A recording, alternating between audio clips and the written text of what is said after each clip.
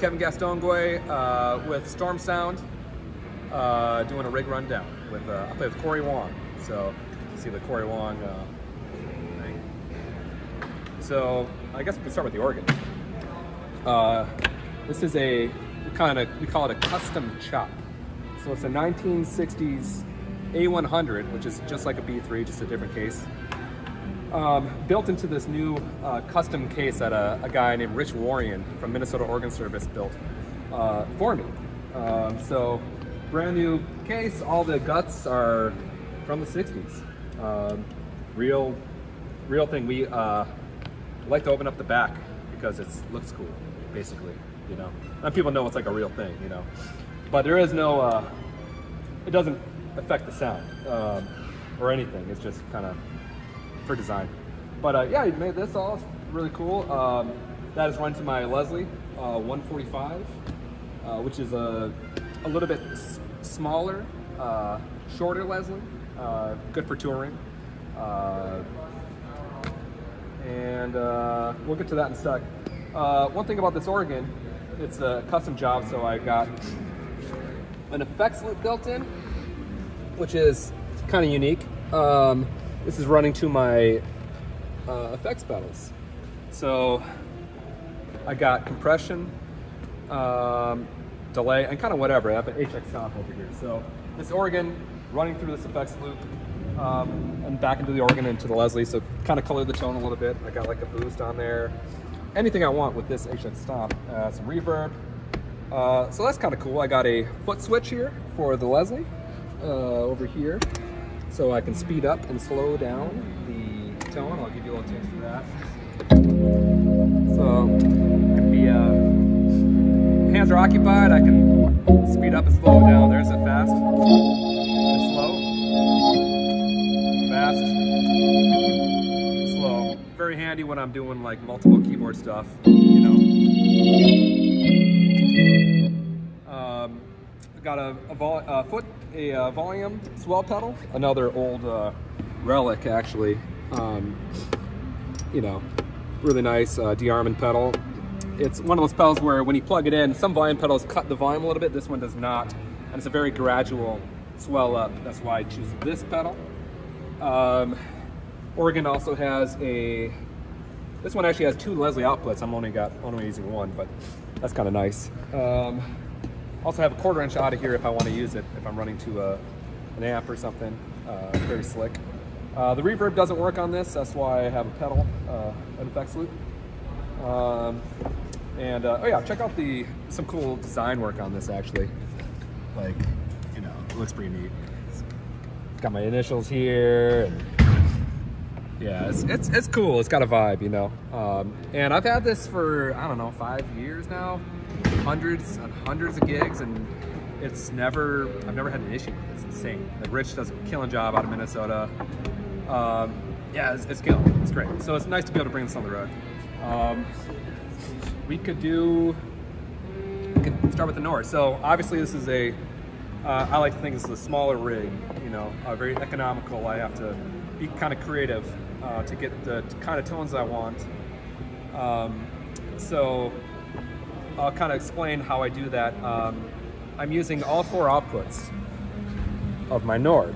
So basically, these two, stereo is going to the house, uh, stereo out uh, into the DIs. So that's all of my pianos and synths will be running out of these outputs. Um, and then I have two more outputs. So I have uh, this twin reverb tone master solid state amp that Fender graciously gave to me at the beginning of the tour. I uh, last tour I had a Fender Silverface from the 70s and it broke in like a week. And I didn't have a proper case for it and I'd love to bring that again but it's the solid state's been I mean it's been it's been great so far. So uh, you know not gonna worry about tubes or anything. That's going uh, direct out actually it's uh, direct out of that to the house. So no mic you know, which is convenient for feedback and all that stuff. Um, but I have two, uh, two inputs. So I'm running the Nord Wurly, Rhodes, and dry clav into this channel. And I have Farfisa and Clavinet through this channel. Now I have Farfisa and Clavinet through this channel because, or with wah, I have a wah pedal here. So this wah is coming from, I don't, I don't know if this is like the best order, but if you can keep up, this is channel four going to my wah and then to the amp. This channel three is the uh, the whirly and the Rhodes, which are not going to the wah, going directly into the amp. So I have separate outputs. I can assign them on the Nord, super slick. Um, and so here we wah pedal not engaged because it's not running to the wah, and I can switch to like a clav. I, and I have my pedal. Now the Nord has wah features on it, but I uh, I like the color of this actual uh, this wah pedal in particular. Um, I, I, yeah, I just kind of like it better, and uh, so I can I can seamlessly switch between whirly and wah or farfisa. I love the swell uh, with the wah pedal and a farfisa, like the kind of like a cutoff, like a filter thing. Um, I did a lot of that on my new uh, record that I released, which we talked about in our, our podcast, your, your podcast. Um, but it's a cool tone, you know, I've been experimenting with that. So Clav, Farfisa, channel four, channel three, just straight into the amp.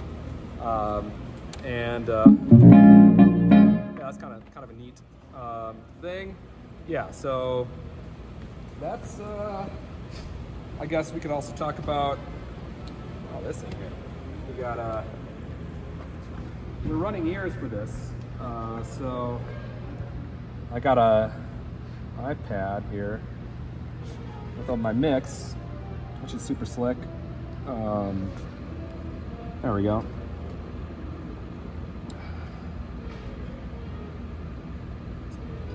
So I got this here with all, every single channel I can, you know, turn up and down uh, with my own in-ear mix, which is uh, very handy. We started doing that last tour and it's been killing. Um, let me think. Uh, I guess we could go over some of the tones that I have running through. Actually, I think that's, I'll show you. Got Rhodes. That's not no wah. That's gonna be house. Ottawa.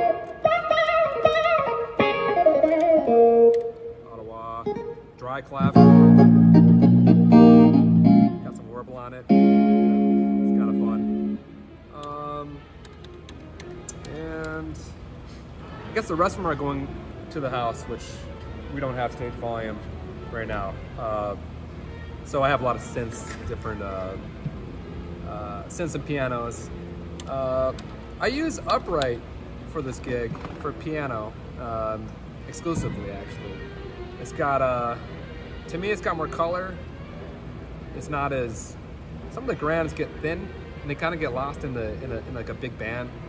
And I don't know, I'm attracted to the uprights. It's got a lot more vibe.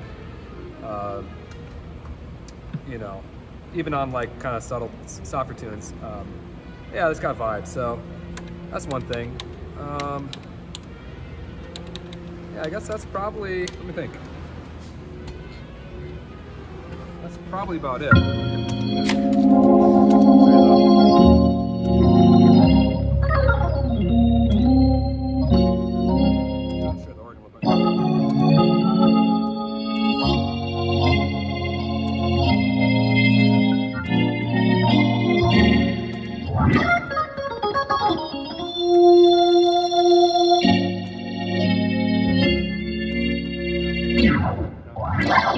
Not will. Nice, sounding Leslie. I like, I like this amp here. Oh, nice, nice tone to it. Um, oh, and then I have, uh, also have a this guy for volume on the Nord for a certain sense. I can assign this to anything I want to on the Nord. Um, often it's set to volume. Sometimes it's set to cut, uh, cutoff frequency uh, filter. Um, and then when I'm not using an amp, I have this for my for wah, but I'm doing a separate thing. Um, yeah, the Nord makes it super easy to be able to switch between tones and send to different outputs. So I've really taken advantage of that. That was the first time I did it, did it with uh, uh, this tour. I thought I was about to uh, the collection plate. Huh? Playing that. Oh yeah, yeah, yeah. Hey, you know, it's nice. Yeah, Oregon's got that gospel tone, you know. Man, when I heard that, I was like, oh. Yeah. yeah. Yeah, yeah, exactly. I sing gospel, so uh, Oh, right on. Yeah, man. Yeah. Nice tone, you know. Got that classic, classic sounds. This is a melodica. We started uh, doing a bit where we, uh, a tiny instruments section of a portion of the show. Uh, it, you know, that's kind of set up where we uh, we want to bring instruments that you could fit on a, a carry-on for, for an airplane because touring sucks with uh, you know just in general on planes you know with all this gear. Um, so I got a melodica.